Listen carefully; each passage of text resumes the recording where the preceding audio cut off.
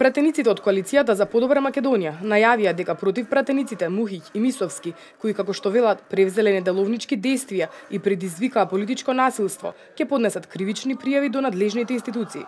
Како што објави пратеникот Антонио Милошовски на својот Facebook профил, пратениците од коалицијата на ВМРО ДПМН денес во собранието ги реафирмирале позициите дека секој пратеник има мандат и должност да го почитува и штити деловникот на собранието, законите и уставот на Република Македонија.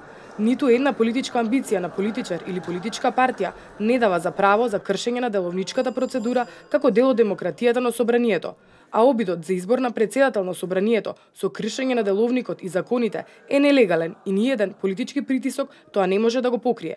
Тие меѓу другото порачуваат дека на Македонија во овие чувствителни моменти не е потребен нелегален председател на собранието и нелегална влада. Против пратениците Мухич и Мисовски кои превземаа неделовнички действија и предизвикаа политичко насилство ќе поднесеме кривични пријави до надлежните институции.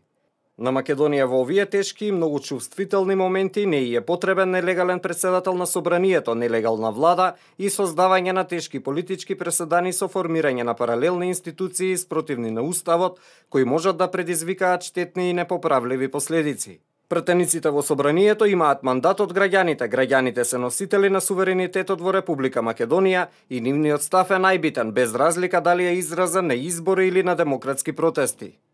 Претениците од коалицијата за подобра Македонија велат дека ниту политичкото, ниту физичкото насилство во собранието не се за оправдување, ниту пак заради насилни поединци некој има право целиот мирољубив народ да го нарекува терористи.